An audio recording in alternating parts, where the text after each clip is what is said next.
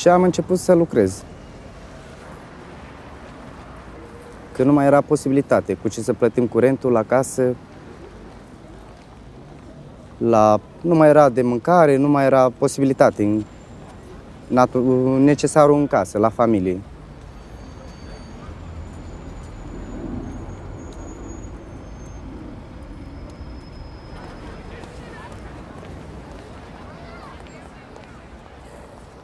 Am încercat să fac câinile astea, care tot m-a învățat un bătrân în România. M-a învățat pentru că a zis că dacă reușesc să plec într-o țară străină, a zis că o să reușesc să fac bani. Nu mulți bani, dar oricum. Am venit cu familie aici. Trei frați și o soră. Anul trecut,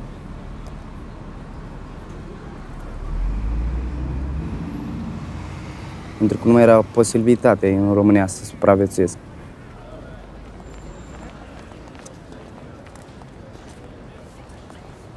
Dorm într-o mașină cu trei prieteni care îi mai am, un frate și un prieten și șoferul, care patru. Dormim în mașină. Tragem într-un Tesco și dormim.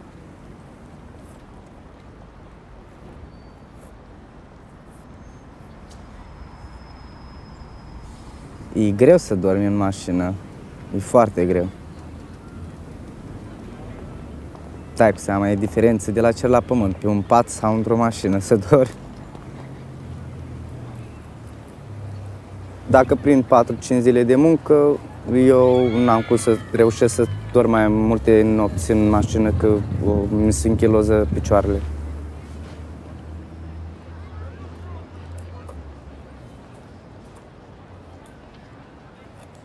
Soția ce încearcă să mă respecte ca orice femeie, că vede că mă străduiesc și mă chinui pentru ei, să le aduc. Mai mă întreabă când o să ne fie și nou mai bine, cum e lumea de aici.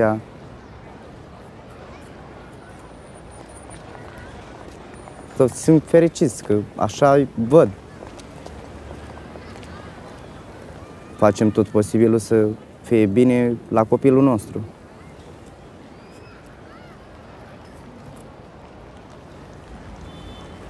Păi frumos că văd că lumea e fericită aici când iese cu familia și se simte atât de fericit și eu stau la stradă și e cerșală ca un fel. Și mă simt de aiurea.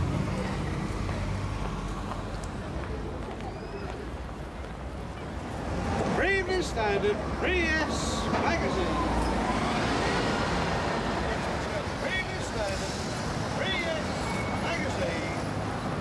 Sunt atât de bucuros când ajung acasă la familie, mai ales când încerc fata de acum să-mi spună tată.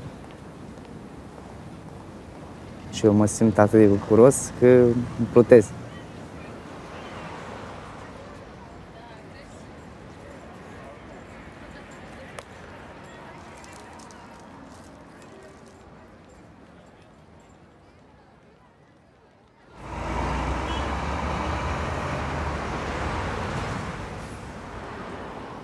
Eu am avut seră acasă.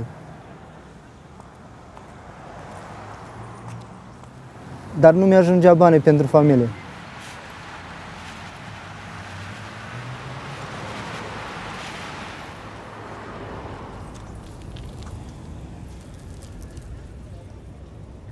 Când am ajuns la Londra, am încercat să cânt cu acordeonul. Și a venit poliția și a spus că îmi trebuie license, nu-mi dă voie.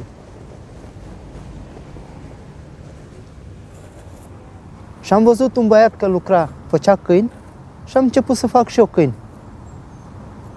Și am văzut cu câinele nu m-a mai fugărit. M-a lăsat să fac câini. Pe, cred că pentru asta majoritatea românilor fac câini. Nu face zgomot, nu deranjează. Lumea uh, dă, iubește mai mult arta. Câștigă poate mai bine un pic.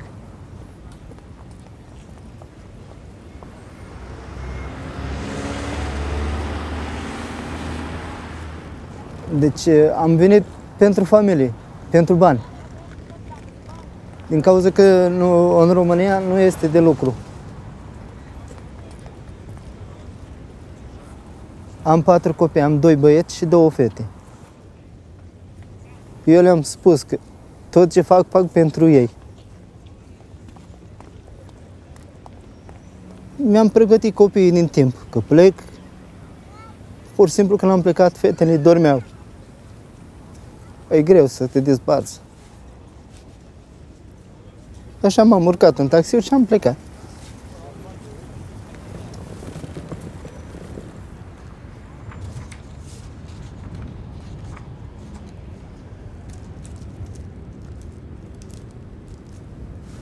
E tragic, îmi vine să plâng. Azi fata mea face 10 ani. Și nu i-am văzut ei șapte luni.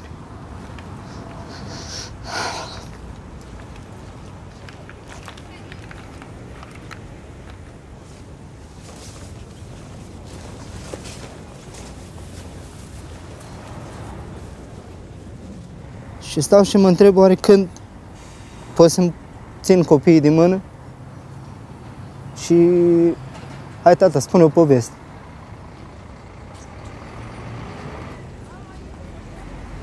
Cred că de asta mi-e cel mai dor. Când sunt mici, se poți să-i plimbi cum face alții. Asta este cea mai mare dificultate.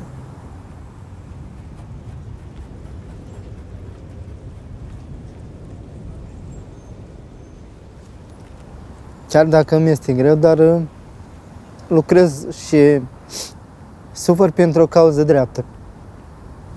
Pentru ei.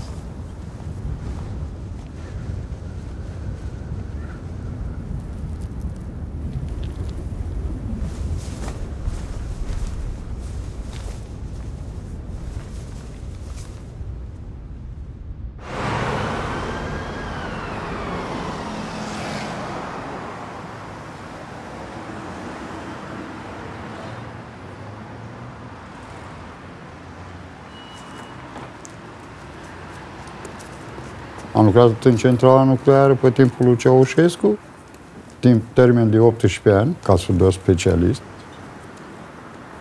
După asta, după Revoluție, am pierdut serviciu. Am venit la Londra cu un prieten din România. A zis că m-a adus la Londra ca să, că o să fie bine. Bun, aici, când am ajuns,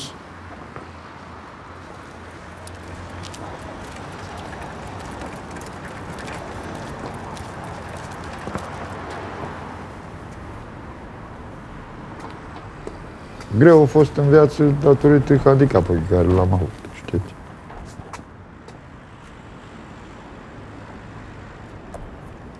Ducându-mă la grădiniță, la vârsta de șase ani și ori, m-a izbit o mașină și am căzut într-un șanț. A sărit șoldul din, de aici.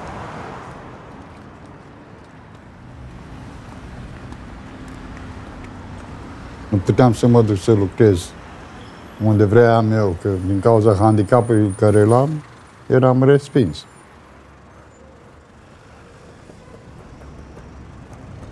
Știți că în țară e foarte greu. Eu deja, la vârsta mea de 51 de ani, nu mai am viitor. Vreau copiii să fie. Am patru copii, dacă nu trimit eu de aici și acolo mor de foame.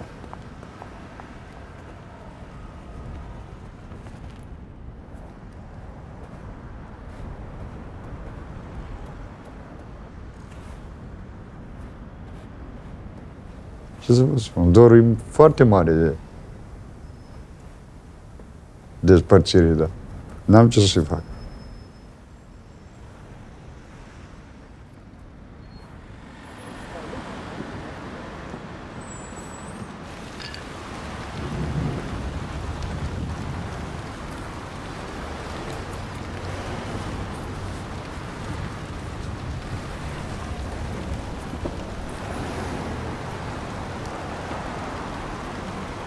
A fost perioade când n-am avut ce să mănânc uh, și n-aveam ce să cumpăr, cumpăram și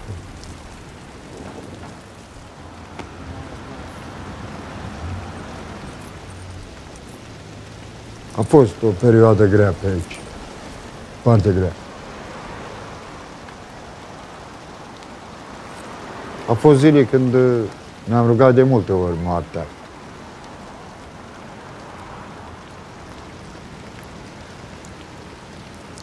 Să termin odată cu viața.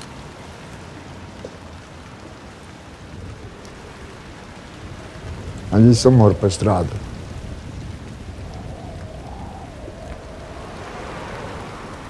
Credeam că nu mai, nu mai reușesc să-mi văd familia.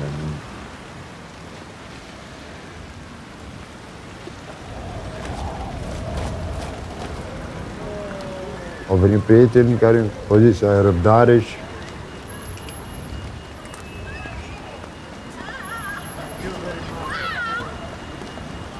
că aici o să fii bine și o să vezi tu.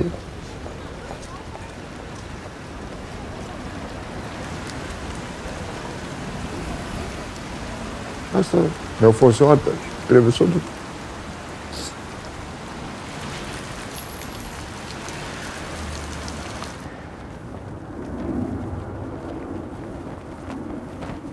Sper să mă țină Dumnezeu sănătos.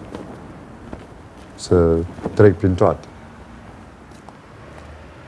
Dacă mor pe străzile Londrei și tot să-mi aduc măcar un copil aici.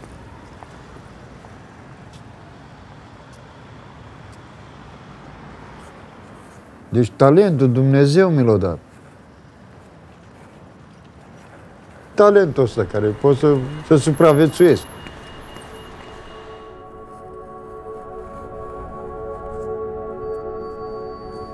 Că ăsta sunt cursul de vieți. Unii le, le trec mai buni, alții le, le trec mai cu